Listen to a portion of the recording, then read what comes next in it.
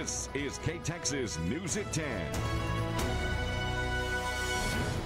It's Super Tuesday. Voters across the big country casting their ballots today. And tonight we have special coverage and some results of several key races here in the big country. Good evening and thanks for watching K-Texas News at 10 tonight. I'm Will Jensen. And I'm Farrah Walton. Tonight we'll be joined by political analyst Dr. Paul Fabrizio. Dr. Fabrizio will give us context to results in several key races. We start tonight with the race for state representative for District 71. Incumbent Stan Lambert has won tonight. He's running for his fifth term. Liz Case was challenging him. Case is a former public school teacher and faced criticism by some, saying she moved here from Dallas to run for this race. She was endorsed by former President Trump, Governor Abbott, and Attorney General Ken Paxton. Both candidates spent a lot of money on political ads. And Stan Lambert, like Will just said, the winner of this race with 53% of the votes, that was against Liz Case, who received 47%. Lambert will face Democrat Linda Goolsbey in the general election. And K-Texas reporter Alejandra Puente joins us live now from downtown Abilene with Stan Lambert tonight. That's right. I'm here in downtown Abilene, and like you guys just said, it was a tight race against two uh, different candidates. You had Liz Case coming in from the Metroplex, having that residency controversy, and while you had incumbent Stan Lambert trying to keep his seat once again. And like you guys had mentioned, it was a big win for him. First off, congratulations on your big win. You. Um, you just found out just a couple of minutes that you won. What are some of your initial thoughts? Well, I'm just very grateful. I'm very humbled and honored to, to be the, the primary representative in the general election in November. And uh, just uh, want to thank everybody who came out and voted, both in the early voting period as well as today during the election day. So just very grateful, very humbled, very honored. Yeah, well, um, you know, what do you think about now taking back to Austin now that you have your seat back again, you have your city's uh, support and all that? Well, I've still got an election in November, the general election, uh, so that'll determine who actually does represent uh, House District 71. But uh, we feel very good, very confident that uh, the message we tried to portray, uh, which we took the high road and we wanted to be very confident about our record, about what we've done, what we've accomplished, and I think that resonated with the voters. Well, uh, Stan Lambert will continue to celebrate his win here at Cypress Street along with his supporters. Back to you guys. Alejandra Puente live with the winner, Stan Lambert, tonight. Alejandra, thank you. Dr. Paul Fabrizio joins us now. He's a political science professor at McMurry University. The race for House District 71 got a lot of attention, as we all know. All those ads, the mailers, those text messages going out. Your thoughts on Lambert coming out on top tonight? Well, I think what it shows is the power of being the incumbent, number one, and being so connected locally. He made a big deal about the fact that Liz Case was from Dallas and that she did not represent the people here. And that seemed to have carried the day today. And also, he's going to go to Austin as the state representative for this area in probably a more powerful position because he beat back the governor and the attorney general. They supported his opponent. He won that shows that he has good connection with this district and that will help him try to get stuff passed through the legislature next session. Definitely a big win for Lambert tonight. Very big win. Dr. Fabrizio, thank you. Well, the House District 71 race has gained a lot of attention, no doubt. Another race at the forefront is the race for Taylor County Sheriff. Let's take a look at that now. And it appears that incumbent Sheriff Ricky Bishop is on his way to a re-election. Well, let's go to K-Texas reporter Karina Hollingsworth first, who is there with Rick, um, Sheriff Ricky Bishop, who is the winner of this race. Karina. Now, I'm I'm here with Taylor County Sheriff Ricky Bishop, who we've just heard that you've been crowned the winner of this election. So, given that news, um, we were this is your news we were, you're receiving live on TV. How are you feeling? Yeah, it feels great. You know, lots of support from the county and and all the citizens, and and words can't express how grateful I am. And now, what are some of your top priorities? Uh, continue our mission and adding more patrolmen to the streets and trying to continue to increase salaries to be more competitive and increasing the technology so we can uh, better serve the citizens. And when we last spoke, you expressed concern about Taylor County being a fast growing county and it's growing faster than the sheriff's office. So, how do you plan to keep this county safe? I'm going to keep trying to work with the commissioners to, to add more patrolmen and more detectives where we need to so we can investigate crimes like we need to and uh, uh, just keep fighting for not only the people that work for me, but for the citizens of the county. And what message do you have to all of your supporters? Uh, I just appreciate all the support, the no donations, uh, words of encouragement, everything that's happened, and, and like I said, it's words can't express how grateful I am for to the public for uh, getting us back into office. Well, thank you, Sheriff Bishop, and stay tuned into K Texas News. Thank you for watching K Texas. I'm Karina Hollingsworth, live in Butte. All right, Karina, thank you. Karina live for us with Sheriff Ricky Bishop, the winner for his race tonight. We want to take a look at those results of uh, this race here so you can see how it all came down. Uh, Ricky Bishop was 77% of the vote compared to uh, his opponents there, not really getting close to him.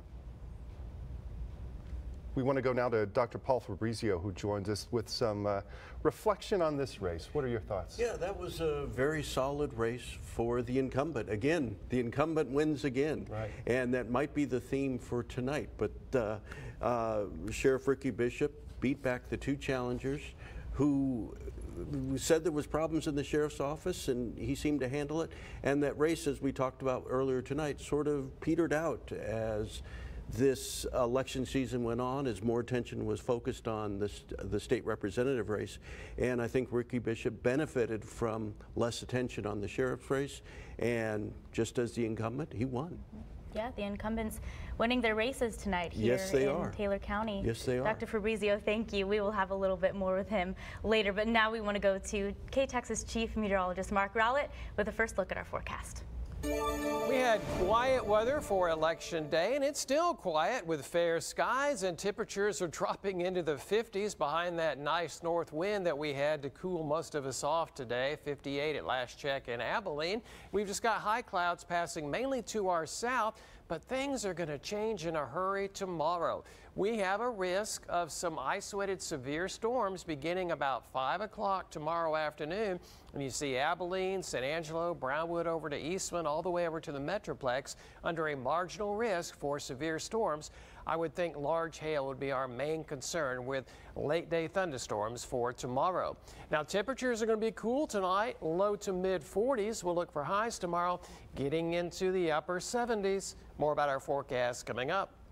Thank you, Mark. Now let's take a look at the race for U.S. Representative for District 19. Incumbent Jodey Arrington has represented our area since 2017. He's the fifth person to represent the 19th congressional district, and we have declared him the winner. He did not face a Democratic challenger in the general election, so he has been reelected tonight, and he won by a large margin. He really did, and Dr. Fabrizio, this was an easy win, you can say. Oh, it was a very easy win. He had two challengers, but I don't think they ever had the money that would be necessary to challenge him. The, again, the incumbent wins again. And this district goes all the way up to Lubbock, all the way down here, huge territory to cover. And uh, Jodey Arrington, who's well connected with his communities, again shows the power of incumbency again and again. I think that's a theme for tonight in these elections. Yes, it certainly appears so, and you can see those results there. Arrington, Congressman Arrington winning by 83% there. We are covering the race for state representative for District 72 when we come back. And coming up on K-Texas News at 10. I'm Ahtra Elnashar with the results in some major states voting this Super Tuesday. Coming up, how the night is shaping up for Joe Biden, Donald Trump, and Nikki Haley. And coming up in sports, there was a crosstown rivalry on the diamond tonight. We'll have that final score between Abilene and Wylie later, so stay with us. Getting the facts right and alerting you to weather danger. You're watching K-Texas News at 10 with Will Jensen. Farrah Walton. Your Storm Alert forecast with Chief Meteorologist Mark Rowlett and sports with Sierra Henry.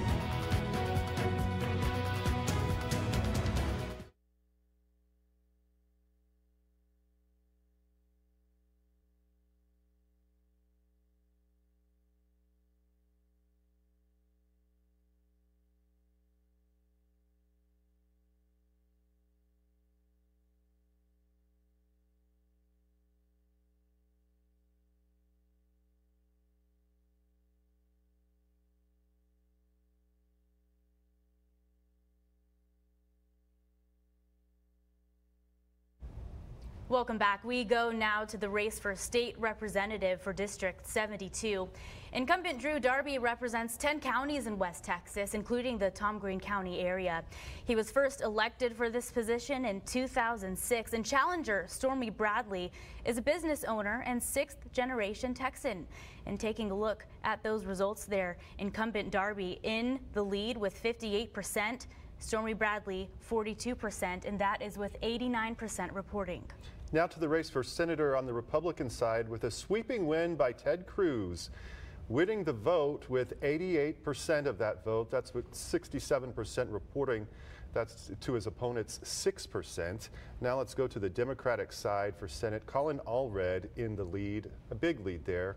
He's a congressman out of Dallas and a former player for the NFL. State Senator Roland Gutierrez represents the San Antonio area where he was born and raised. And as you can see there, Colin Allred, like we said, a big lead with 60% of the vote. The winner there will face Ted Cruz in the general election. Cruz, the incumbent, has represented Texas in the Senate since 2013. Dr. Fabrizio joins us again. What are, you, are your thoughts on what looks like a Cruz Allred matchup? Well, we got to remember that most Republicans consider Ted Cruz to be the most vulnerable senator this year. When he ran last time against Beto O'Rourke, he only won by 3% of the vote. So there's a lot of attention that's going to be focused on this. And the question is, could Colin Allred step up to the challenge of beating an incumbent Republican senator in a Republican state? And as we saw, Colin Allred, I think, got 60% of the vote. There were 12 candidates in that race, so he actually did very well to avoid a runoff. I mean, it's a solid showing by Allred, but he's got a much more difficult challenge ahead of him. Definitely. We'll see what happens, what the results are later on. All right, Mark joins us now with our full forecast.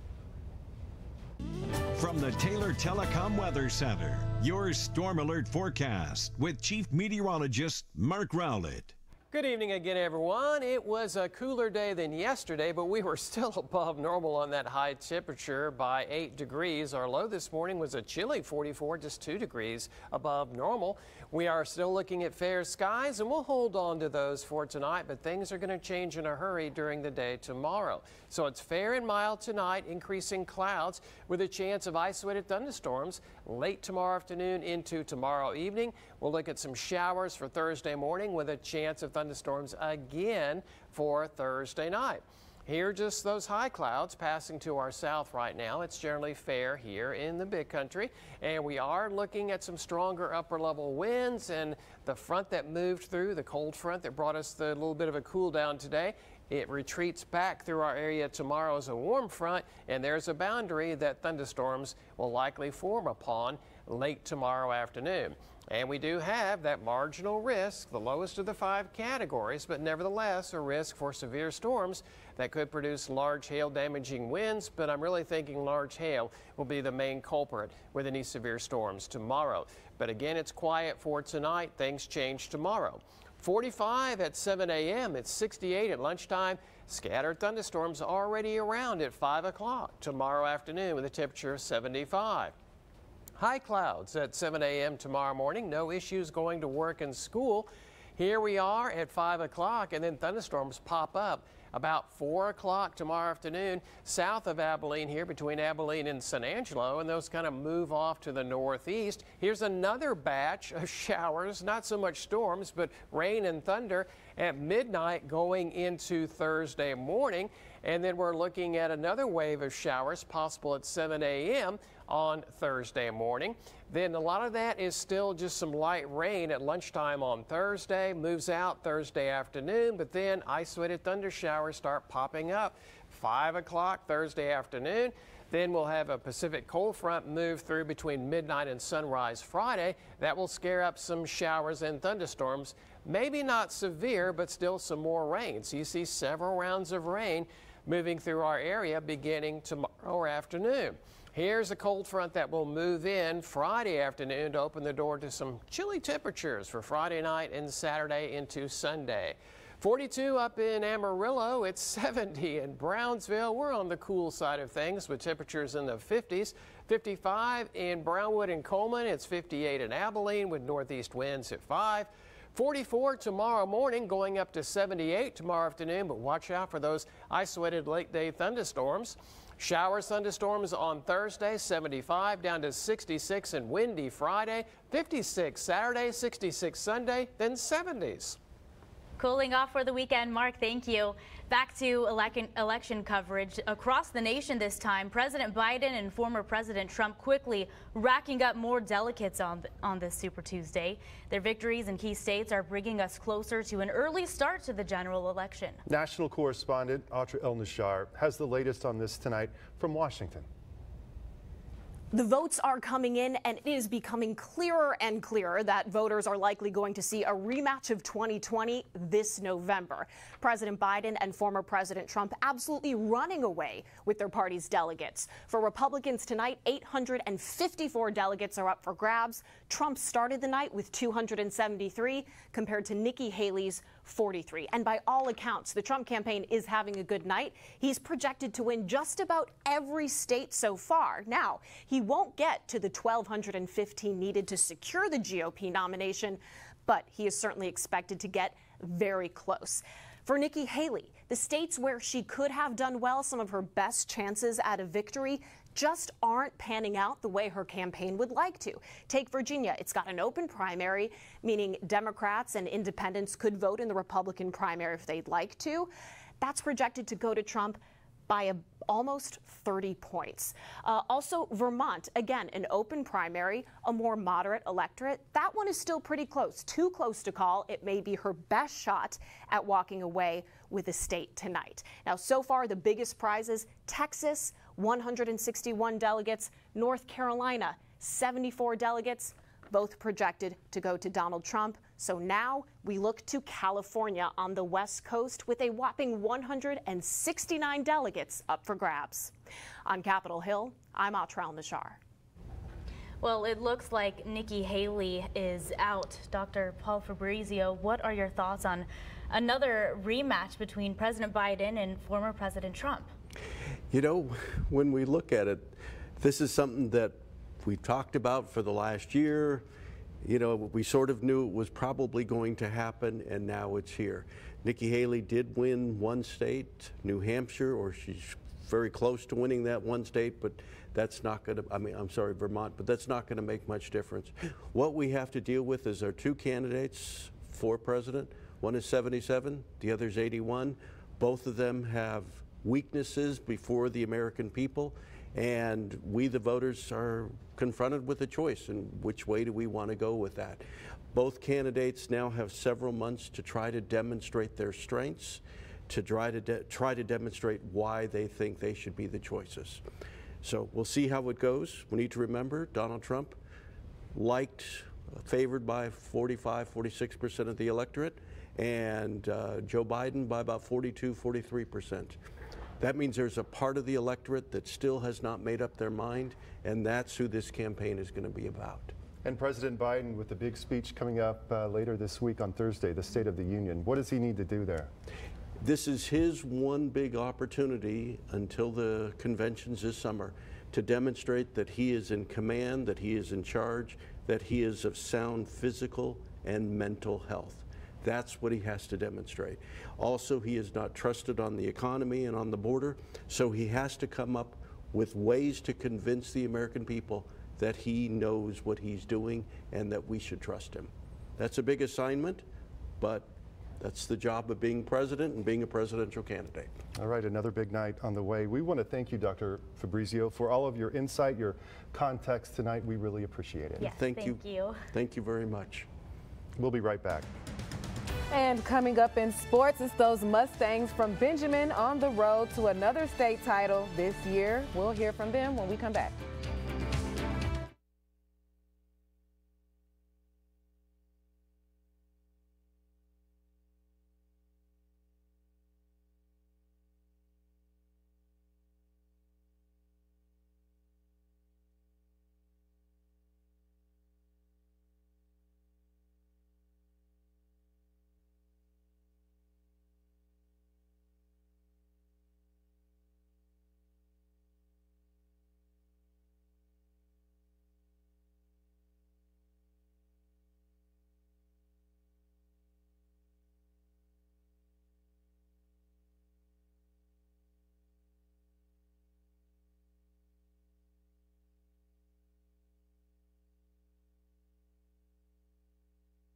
From the Texas State Hearing Aid Device Center Sports Desk, your sports report with K-Texas Sports Director Sierra Henry.